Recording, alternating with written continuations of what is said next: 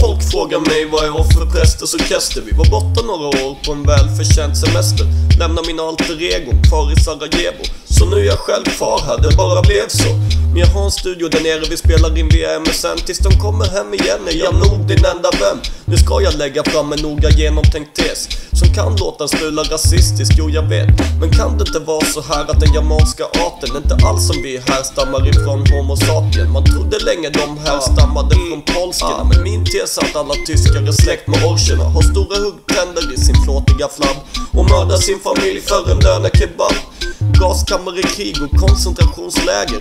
Allt för att ingen ska gå till roten av släktträdet. Tyskarna är troll och jag kan stärka min bevisning Genom att ta med dig till valfri snabbmatsbespisning. Kebabsås och kött på täckjackor och bord. I deras vener pumpar ett tjockt grönt blod. Tonspråket ekar från jordhålan någonstans. De är ett tecken på dålig stil, lite som Comic Sans. Blekinges främsta konspirationsteoretiker Samlas över en flaska vin och en korridoriga idéer. Göm inga företeelser, det är kravet För vi går till botten av problemet med bogvisiret på vidgavel Blekinges främsta konspirationsteoretiker Samlas över en flaska vin och en korridoriga idéer. Göm inga företeelser, det är kravet För vi går till botten av problemet med bogvisiret på vidgavel Min gissning är att din kryssning är i förbund med ryska staten Nu ska jag förklara saker. Finja line-kryssningen mellan Sverige och Finland. Var en och en halv till två timmar kortare innan. På den tiden sups det för ofantliga belopp Och det är i denna gruvan som pumpar in pengar i duman Men kryssningen tar inte längre tid för att båten är långsam Så det måste ha blivit längre mellan Sverige och Finland.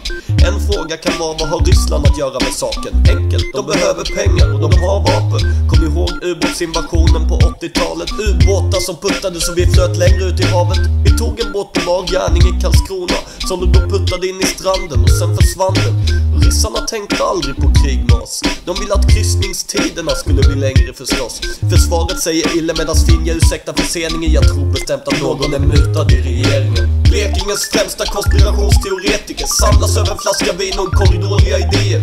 Göm inga företeelser, det är kravet För vi går till botten av problemet med bogvisiret på vidgaveln Blekinges främsta konspirationsteoretiker Samlas över en flaska vin och en korridoriga idéer.